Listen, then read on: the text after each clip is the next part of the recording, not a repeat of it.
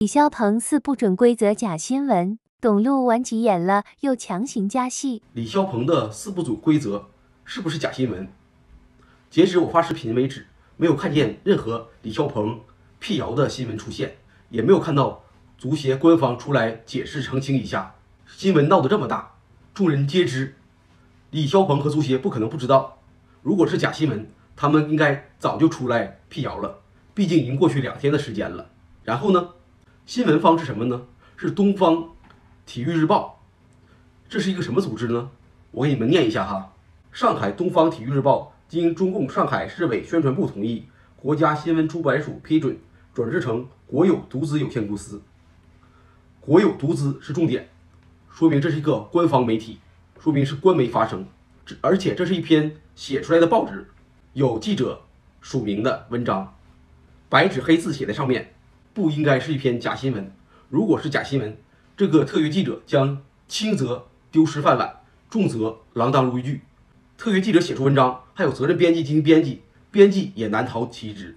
记者负责撰写文章，主编负责看文章、批准、核实。如果是假新闻，有连带责任。你会为一个假新闻丢弃铁饭碗、锒铛入狱吗？我想不会的。基于上面两点。我认为这是一篇真实报道。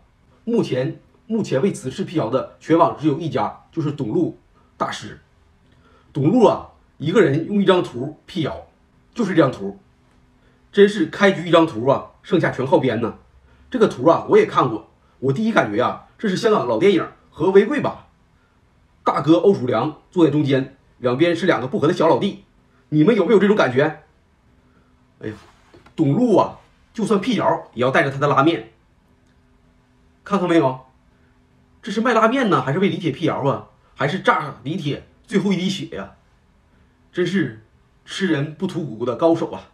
我说万一啊，万一如果这真是条假新闻，那就更有意思了。